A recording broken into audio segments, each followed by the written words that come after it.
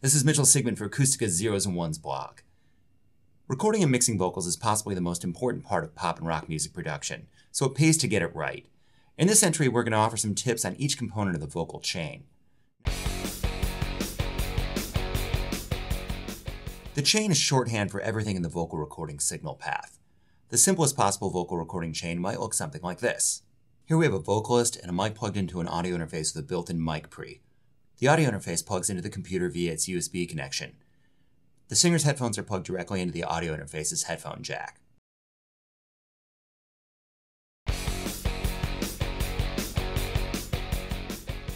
Let's begin with the most important element of the vocal chain, the performer. Now, making the performer comfortable is really important. So I find that things like dimming the lights or lighting candles or incense can make them feel a little more mellow and comfortable in the environment. And also things like having a beverage around, like herbal tea or lemon water. Those are really good for the throat. Um, try to avoid soft drinks and coffee. Uh, and try to make them not smoke cigarettes unless they want to sound like Tom Waits. Uh, another thing I find that's important is sometimes people will want to bring a bunch of people with them to the session. And I find that the more people who are in the room when you're recording, the more armchair producers you have. And you also end up with a situation where sometimes the performer is trying to impress their friends, and this never is productive. I always find the best situation for recording is just the engineer, recording person, and the performer one on one. And that way you get the most work done and everybody's the most comfortable. Also, different vocalists will have different vocal skill levels and they'll have different amounts of experience recording. So um, sometimes when singers haven't recorded a lot and they're on headphones, when they hear their voice just raw in the headphones up front, can be really disorienting for them or it's hard for them to get their pitch right. So really go the extra mile to try to get a mix that makes them comfortable. Uh, if necessary, put some reverb on their vocals. Uh, another thing I found if they have trouble with pitch is if they pull one of the headphone cups off of the side of their ear, sometimes they can hear better with their voice being heard in the air around them. And just be careful if you do that, that the one that's off their ear isn't facing the microphone. Otherwise, you're going to record the vocal monitor music, which you don't want in your vocal track. But the good part of this is your performer will sound and look just like Michael McDonald. Such a long way to go.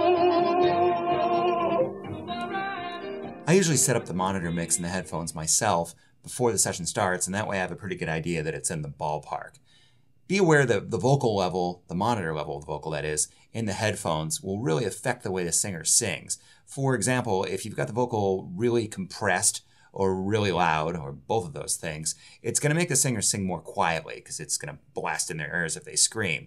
Whereas if you do the opposite, if you make the vocal level really quiet, it's going to tend to make them scream or put in more effort. And this may be what you want. It really depends on the nature of the track.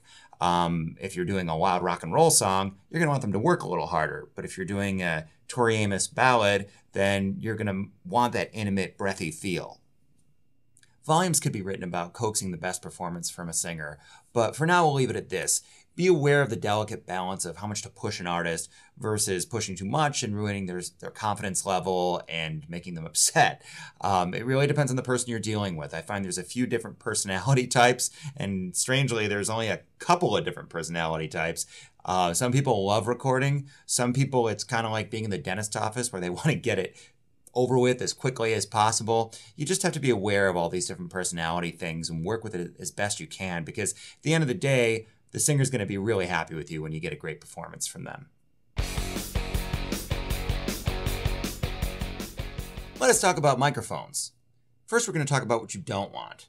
You probably don't want that. I bought this at the dollar store, and uh, it doesn't sound that great, but it does have built-in reverb. Whoa!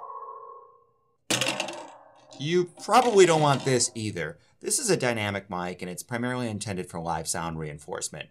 These guys are really robust. You can drop them and you probably won't break them. And uh, they have a lot of resistance to feedback in a situation where you've got blasting monitors, which won't matter for us. But they don't sound as good as the large di hold on. Large diaphragm condenser mic is pretty much the highest fidelity mic you're gonna get. Um, these need a 48 volt phantom power source usually, but that's usually included in most modern mic preamps. And These sound really, really great. And the best thing about them is they used to be really expensive. It used to cost like over a $1,000 and you'd get yourself like a Neumann U87 or something along those lines. But in the last 10 to 15 years, the price of these has come down dramatically.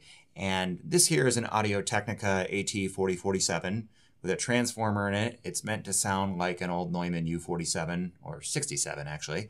Um, it's not a tube mic, but that doesn't matter. It still sounds really, really good. It's about a $500 mic, but I've actually heard mics that cost half that that sound just as good as this. Also, you're going to want a uh, one of these, which they call a popper stopper. This goes in front of the mic. And the idea behind this, besides making you look like you're in the We Are the World session, is uh, they stop plosives. And what a plosive is, is any sort of hard P or B sound. So when you're in front of the mic, you're not going,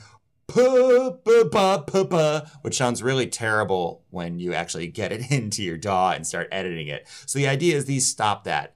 Um, again, depending on your singer, some singers will be more aware of this than others. And back in ye old days, before they invented pantyhose in front of a mic, singers would actually put their hand in front of their mouth whenever they did a P or B sound to sort of damp that sound.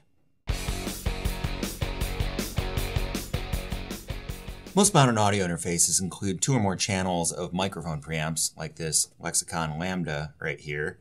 And here are my little input level knobs for the mic pre's. And you can see on the back, there's XLR inputs, and there's also a 48 volt phantom power for condenser microphones. Now, you can use the internal ones, which usually sound pretty good, or you can get an external mic pre. Now, there's a whole bunch of uh, budget external mic pre's, some of them boasting tubes and that sort of thing. But in my opinion, you usually don't get a lot of audio improvement with a cheap mic preamp.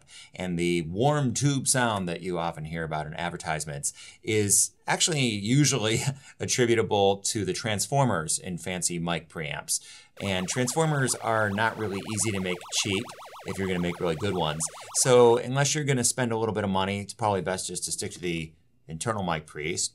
Um, that said, there are some really great sounding bargains to be had, relatively speaking, the, in the $500 and up region from companies like Golden Age, Warm Audio, and Focusrite. Now, one thing you may be asking is, hey, Mr. Acoustica fancy blog guy, uh, can't I just use one of Acoustica's built-in compressor plugins and not use an external compressor? And you can absolutely do that. Um, I prefer an external compressor because I'm fancy and stuff. And the nice part about that is it sort of preconditions your tracks going in, your vocal recording, and pre levels it. So you're already kind of most of the way there as far as compressing it so it sits really well on a track. But you can absolutely use one of Acoustica's built in compressors. And if you put one on the recording channel that you're using, the performer will hear the compression in their headphone mix, but Mixcraft won't print the compression to the recorded track. And this is really nice actually because that means you can really squash something for the performer or back it off or however they want it set in their headphones. And then when you're mixing the track later on, you can really fine tune the settings of the compressor. Now, what I do is I actually use my external compressor over here, my Langevin, and um, I actually compress on the way in quite a bit. And then when I'm mixing, I'll add another compressor in the channel strip. So I kind of have double compression at that point. And you'll find that, again, for pop stuff, you almost can't have enough compression. I mean, you'll you'll hear if it's really pumping and sounding gross, but most pop tracks are pretty well compressed. If you are using one of Mixcraft's internal compressors, I would start with the classic compressor. It's pretty easy to use and it sounds great, and it also defaults to the uh, vocal preset, so you're pretty well in the ballpark where you need to be. And to increase the amount of compression you hear, you'll take the threshold knob and you'll actually turn it counterclockwise. You'll notice that in the preset position, it's pretty far up. And actually turning it counterclockwise squashes more. And you'll see the red light that shows the compression will come on more. Um, you may notice an overall decrease in volume as you're getting more compression. So then you'll take the output knob all the way on the right and you'll turn that guy up to account for the loss of overall level that you're getting. Here's another tip. If you're using an audio interface's internal mic pre's and you want to use an external compressor, some audio interfaces, like my Lexicon Lambda over here, actually have an insert jack over there. And that lets you use an insert cable, like one of these guys. And you can take that, uh, you can take that and put it in Mr. Insert over there. And then you can send in return to uh, an external compressor. If you don't want to show out the ducats for a separate mic pre and compressor, so-called channel strips uh, combine a mic pre and a compressor and often other things like EQs and saturation and de-essers and things like that, all in one box. Uh, these are really cool. Uh, the only thing is you will want to be careful how much that stuff you use when you're tracking vocals because for example, if you track your vocal with de-esser and saturation and stuff like that, it will be stuck in the track in that sense. Like you won't be able to remove it later. So I generally just record with a little bit of EQ to get any low end rumble out, like passing garbage trucks and air conditioners and stuff. And sometimes I boost the highs a little bit for a little bit more sparkle. Uh, I do use a fair amount of compression, but I really don't want much else on there because anything else I can add after the fact. Uh, my particular unit is a Langevin dual vocal combo. They don't make this anymore. It's from a company called Langevin, and they were the solid state uh, version of uh, Manley, which is really high end tube stuff. So the solid state line was a little more affordable. But there's some good deals out there on channel strips, and they work out really well.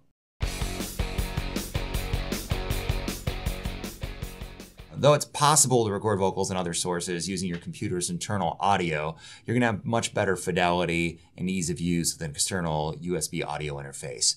Uh, you'll likely want a model with built-in mic preamps, but most of them have built-in mic preamps these days anyway, so you're probably good there. And the biggest advantage of using an external audio interface is that you'll be able to set it for much lower latency. And what that means in English is uh, when you're recording and monitoring the recording, uh, the singer or whatever you're recording, they'll hear a delay, which usually sounds kind of like a slapback delay. And so that makes it much harder for the performer, obviously. And uh, a nice audio interface will let you set really low latency so you won't hear that nasty slapback echo on the monitored signal.